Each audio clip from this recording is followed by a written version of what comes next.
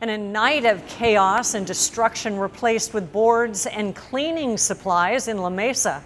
10 News reporter Cassie Carlisle spoke with small business owners who are already reeling from the impact of coronavirus.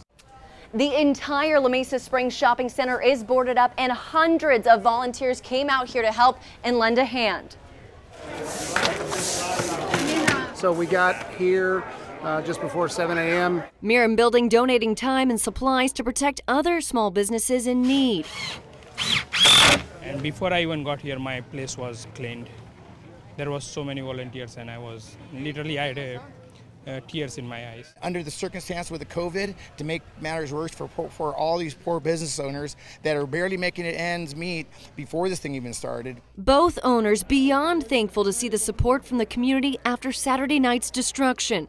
Albert Garzon watched his Mexican restaurant take a beating. And there's nothing you can do about it but just watch. Um, it was just so much chaos and just people running left and right.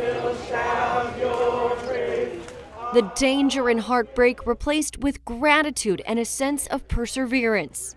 What the people of La Mesa have come out to do for their community is priceless. And that's what will keep us strong. We'll be La Mesa strong.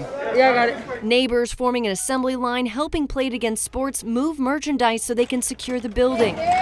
Everyone holding a broom or other cleaning supplies ready to help wherever needed. Yesterday, there were signs there was rock throwing, there was vulgarity, there was accusations against the police and all that stuff.